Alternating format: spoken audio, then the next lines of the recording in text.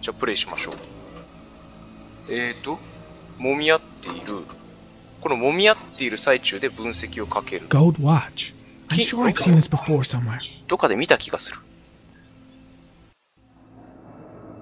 はっあ警部補に昇進祝いであげるあの金の腕時計ってやつか。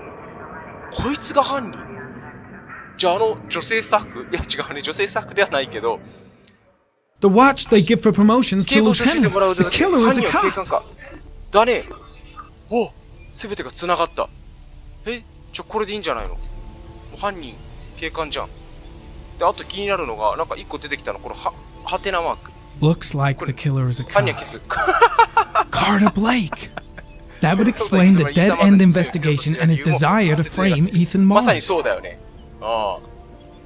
いや、でも、違うな。